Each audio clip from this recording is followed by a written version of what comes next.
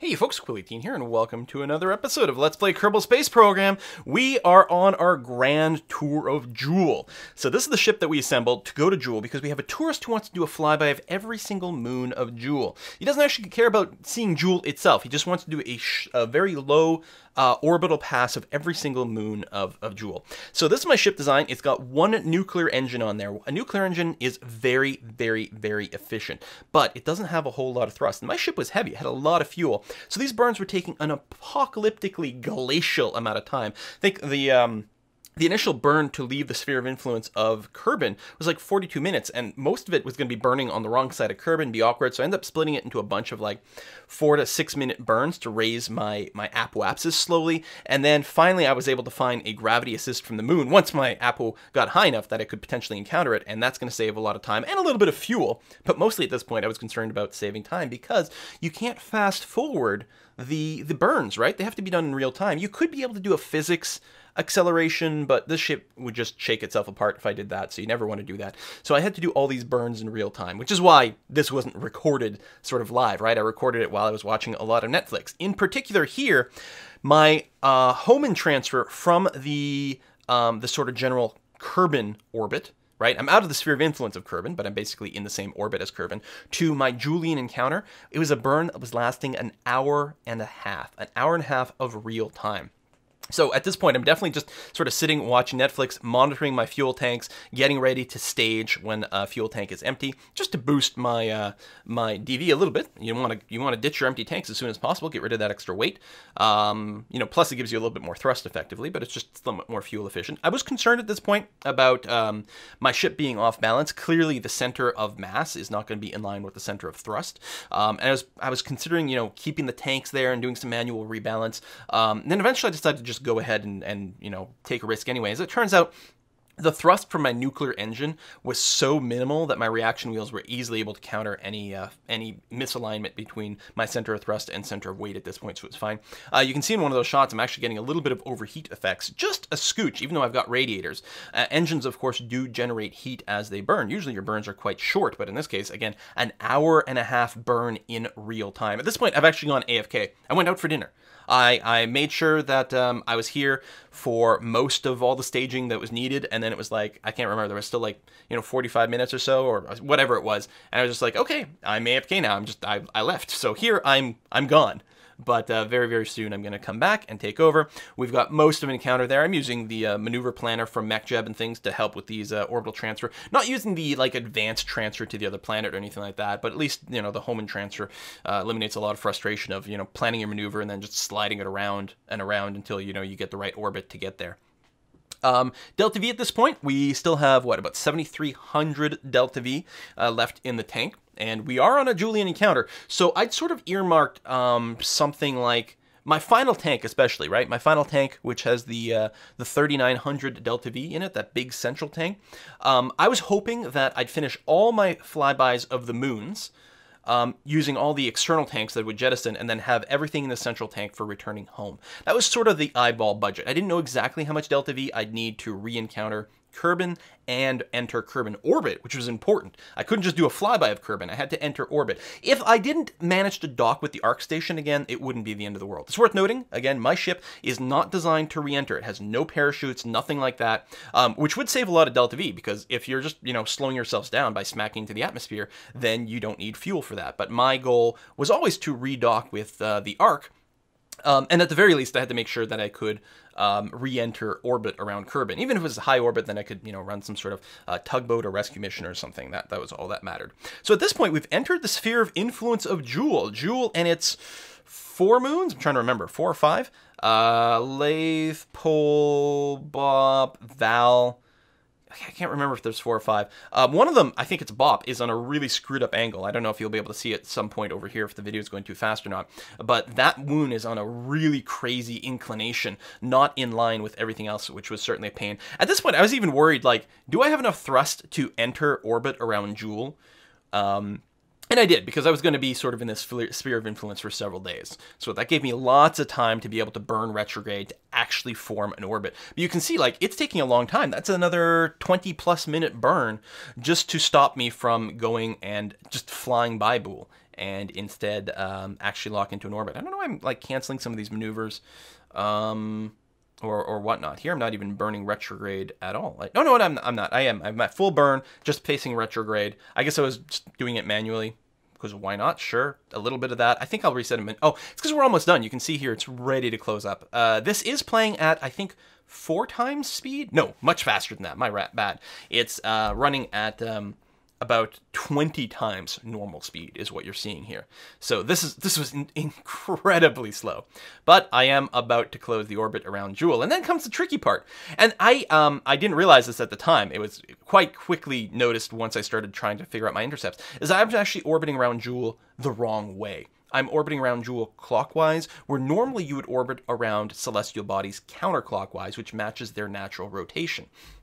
Um, this added some difficulty in actually encountering the moons because the moons are orbiting the other direction. So we're doing head on encounters, which means our actual encounter time is very brief, which makes it much harder to actually enter the sphere of influence. Um, it also, I think, adds some complexity to maybe using the moons to do various gravity assists, either gravity braking or gravity uh, boosting. Um, on the other hand, flying by the moon so quickly means I'm not actually spending a lot of time in the sphere of influence, and I have a very large relative acceleration, which means the moons don't actually affect my path very much. So there's pros and cons. Sometimes you want it to affect your path, and other times it might actually be fine that it doesn't. In the end, it was what it was. Um, I'm sure this could have been done like infinitely better. I didn't read any guides for doing anything like this. I was just eyeballing things, and I was like, once I got to the system, my plan was just like, all right, I'm going to try to start with the outermost moon, and then just keep sort of, you know, effectively burning prograde relative to Jool as much as possible, and keep dropping my orbit for another pass to the next moon, and so on and so forth, knowing that each moon encounter was going to modify things a bit. But yeah, it's very tricky to actually modify my path to do the close flyby. I had to do like very, very fine maneuvers to bring it down. And again, that's a, a fact, a, a, a side effect of having these encounters in the opposite direction. But as I'm doing the encounters, I'm getting a lot of science. I have uh, eight science experiments here, including the material bay and the goo container, which I can reset because I've got a scientist. And actually, I don't even have to EVA the scientist because I've got a science lab. And the Science Lab has a nice convenient feature on it um, that if you right click on it, you can clean experiments, which is to say reset goo and material containers. So first thing I did is I transferred all the material into the Science Lab itself, which can hold uh, 500 data, and then I transmitted it back. And then once I hit the solid 500 data in the Science Lab, then I didn't have to worry about storing anything more. Uh, one thing, we're so far away from the sun at this point that my four giant solar panels are actually not enough to run the greenhouse and the, um, the research lab and also maintain the life support, which is like really too bad. Uh, the greenhouse is part of the Pioneer module. It only runs at like 25% efficiency, so it doesn't do that much for you anyway. But it did extend, especially on the trip out to Jool, it did extend my food, water, and oxygen supplies by um, by a little bit, you know, just making it so that instead of burning, you know, one second worth of food every second, I was burning a second worth of food maybe every second and a half or something like that. So it stretched out my food supplies. In the end, I ended up with lots extra. So, you know, it wasn't strictly necessary, but it was nice to do. And in particular, the research was nice because on these long trips, I was able to transmit a bunch of science back home and get way more than just the actual science value by itself, especially since I'm not bringing anything back. The material study and goo things, I think I'm only transmitting for what, 30% of its actual science? but um, as opposed to you know 100% if I brought the module back. But this way I could reuse the same modules over and over. And again, I don't plan on landing this ship back on Kerbin. It's going to stay in orbit around Kerbin forever. Um, it's, I'm going to have to ship up a new engine component, right? But um, the front part can definitely be reused. Just restock all the uh, life support modules and then go to town. So at this point, um, I think I'm at the closest moon. It's kind of hard. Like you have to be at different zoom levels to spot all the moons, but I think we're there. Is that is that am I around Laythe right now? I guess we can look on the left hand side. Laythe is done, or I mean, I need to do. Oh no, there's another one in there. My my, my screen is a little small. Looks like I haven't encountered Vall, Laythe, or um, or Bop. There we go. So that we have to still do that, and we're working at it. Laythe is cool. Laythe is has water and an atmosphere. Um, apparently, it's not breathable. Uh, if I understand the wiki properly, people still need a helmet and some life support and things like that. But there's an atmosphere. You can get planes that run on there. Um, you can aerobrake, which is really great. Obviously, you can't land on Jool. Jool is a gas giant, so you don't want to do that. Although I think you could still aerobrake on Jool if you are trying to enter the system, which is nice. You just clip the top edge of the atmosphere. Not enough to slow yourself down where you're going to land on the planet because you can't. You don't want to do that. But just clip it enough to help you slow down so you need less fuel, which is pretty cool. So here I am again, you know, just planning these maneuvers, and it's mostly just brute force. It's like, okay, here I am now. Let's put a maneuver out and see what we can encounter. I still have 4,500 Delta V at this point, um, and I only have two encounters left. But I was concerned because, again, my plan was ideally my big central tank was going to be used entirely for a return, and I only have 500 Delta V left in my last side tank, and I have to encounter the very awkward moon that's at a wonky inclination.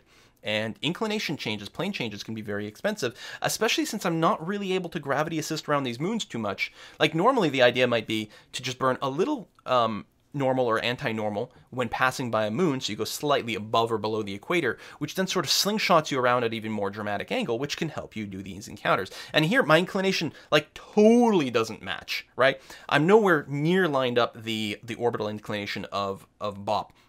Um, and so I'm coming at it completely sideways, which makes it very, very, very hard to encounter because there's just the one tiny part in the orbit where I'm going to clip past that uh, that moon, as opposed to when you come aligned, then you know you can just fly side by side, and there's a lot more space there for you to do your encounter. So this was a very difficult one, and I, a big part of me at this point had considered like um, scrubbing the mission. Like I would not finish the contract. I would still generate a whole bunch of science, which is good because I need um, I need the science for more engines and more life support options and more science options, right? So that it can keep going forward. So the, the mission still would have done something. I still would have gotten a lot of science out of this trip, but I wouldn't have completed the contract. In particular, the contract is going to give me five million bucks, which is going to more than pay for this mission. Total cost of this mission um, is probably somewhere at around three quarters of a million. Uh, maybe not that much. I know the engine module uh, was a half a million to, to launch. Um, so that was the ascent stage, but also the engine module itself. That was half a million. It was very expensive and full of a lot of fuel. I don't think the top stage is as expensive, although it's still relatively heavy to launch. So it wouldn't surprise me if it was a quarter of a million dollar ship. I'll have to go and look in the um, uh, the VAB at some point and see what the cost of that is. But I bet you the cost of the whole mission was about three quarters of a million, and that doesn't include my the Ark space station around Kerbin, which I used for some of the docking and setup. Although it has its own value there. So um, yeah, so there's definitely some cost, and I want that five million to recoup it. Plus, I do ideally want to. Oh, yeah, here I'm being told that there's uh, the the my arc was running out of food and water and stuff, and I was like, what? And I didn't realize that the uh, the TAC life support sort of doesn't process those things if you're not at the ship. Um, but as soon as you switch to the ship, it knows how long it's been running, and it sort of like processes that backlog. So I instantly went from like under 100 food, water, and oxygen to boom, you have 850 days of food, water, and oxygen. You're fine. So it's like, oh, okay. So you just switch to the other thing whenever you get a warning, and then it replenishes stuff, and it's fine. But we're done. We're done, Jool. We have actually successfully done the flyby of every single moon. And we still have 3,500 Delta V. Basically, we had that whole central tank left in terms of Delta V. But um, and I, I was talking about something else at the time. I did use a gravity assist to help me leave Jool, but I got my right and left hand side confused. You're supposed to sort of gravity assist and you want to leave towards the right hand side of the sphere of influence of Jool, assuming Jool is at the 12 o'clock in the solar system. Um, basically, so that way you're leaving in a retrograde direction, which helps you lower your orbit towards Kerbin. Uh, I goofed up. I got my left and right confused. Maybe my camera was pointing the wrong way at the time, and I left in a prograde direction. So I boosted into a higher orbit, which means both it will take me longer to get back to Kerbin, but also use more fuel. As it turns out, I still have lots of food, water, and oxygen. I have 2,000 days remaining, and I think my re-encounter of Kerbin at this point is a little over a year away. So I have plenty left in the bank. Um, plenty, plenty, plenty. You can see the food, water, and oxygen dropping. Maybe it was a little more than a year. Maybe it was like a year and a half or something crazy like that to come back to Kerbin. Those were fine, but I did end up using more Delta V. I'm down. I'm still burning right now. Um, but there we go. It. Uh, we have 2,300 Delta V right now, which seems like a lot, but re-entering orbit of Kerbin, as opposed to just flying by Kerbin, is going to require a massive retrograde burn. And also don't necessarily know where the sweet spot is. I mean, I guess ideally you do it at the peri. Um, and I don't remember. I guess I mostly do that. But because my burns are so long and slow as well, it means it's not optimal. Ideally, you do the entire delta V change at exactly the periapsis with an infinite thrust engine. Well, I don't. I have a very low thrust engine, which means I'm going to be burning quite a bit before and after the periapsis to try to make it work. Um, and as a result, um, And yeah, I'm slight just below 2300 delta V here. And I'm still making a couple of adjustments. I'm trying to bring my course to be as close as possible to Kerbin as possible so I have the lowest periapsis, which increases the efficiency. And here you can see this burn to get back into orbit. About 1300 gets me into a relatively low Kerbin orbit, which is great. Again, it's a long burn. It looks like about 13 minutes at this point when I'm staring at it. Um, it does mean I'm not doing the burn that close to the peri, which is slightly less efficient, but not too bad. But all I care about at this point is, okay, I'm in orbit of Kerbin. I'm not going to just fly by the planet and then go smack into the sun or leave the solar system or something like that. So no matter what, I can be rescued. Ideally, at this point, I would like to then drop my orbit to so that I can encounter the space station, the Ark space station, which is an orbit at 200 kilometers around Kerbin. Will I have enough delta V to do that? Let's find out. Oh, look at the heat. All my stuff is getting super, super, super hot over here. Um, these are such long burns, and I don't have that many radiators. Next time I'll bring the ones that expand out, but we're okay. And I'm having to, again, split my burn into multiple burns, and then I, I notice my inclination is off. I think this is the first time I noticed my inclination was bad, which is not good, because you want to do plane corrections as far uh, out as possible because here it takes a lot more delta V to change and you can see in fact this maneuver here is taking all my fuel left. I'm going to be left with basically no fuel left in the tank. Um, I will be and this is quite helpful, I will be in a perfect zero inclination orbit, which will make rendezvous with a tugboat much, much, much better. Much better. Uh, so that was important. I'm like, listen, I'll, I'll drop my orbit as much as possible so that the tug doesn't need that much fuel to reach me and also to fix me. And I want to be in a uh, equatorial orbit to fix that. And here we go. This is this is my tug. This is my tugboat right over here. It's uh, it's very simple. I um I actually uh, goofed because in hindsight, what I should have done is at the same time with this tugboat is actually send up my um uh, my lander module because I got to bring my tourist back home, and right now I have nothing that can land it. On the other hand, you know, this kept the tugboat relatively cheap and easy to build, so it gets up into space. Um, I make sure that we are tangential on one side of the orbit over there, and then the other just gets adjusted for the, the meetup, which happens there. I can't remember. I may have used some of the MechJeb tools to assist on this. I can't recall. And then we get to do a docking. And let me tell you, after docking all the space station modules, which are insanely heavy um, and, and insanely slow to rotate, this was a dream. It was so nice to do a docking with a nice agile ship again. It was just like, ah, just gorgeous and glorious and so convenient to do that.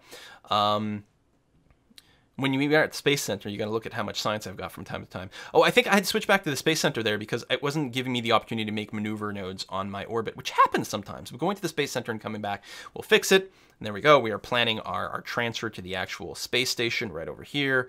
Bit of a tweak of orbit, close encounter. It's a little more difficult to maneuver now because I've got more weight, uh, but it's not too bad and I actually have a decent amount of RCS. And my actual deep space ship had its own RCS as well. And um, I should have at this point, and I, don't, I haven't. I'm not sure why. I should have ditched. See, I shouldn't have done that. What I should have done is ditch the engine module from Deep Space Explorer because it's empty and quite heavy. And in fact, I should have kept the docking module here because it has a lot more RCS um, thrusters and stuff. But this worked out okay. So we moved parallel. I still have, um, I only had like 50 units of monopropellant, and that was fine. Despite this big heavy ship, that is more than enough. Uh, you just sort of align yourself to face the docking port. You go sideways until you encounter it. Dock, there we go. And we're going to bring this video to an end. And in the next video, we're going to be back in real-time recording. Thanks for watching, folks. See you next time. Bye-bye.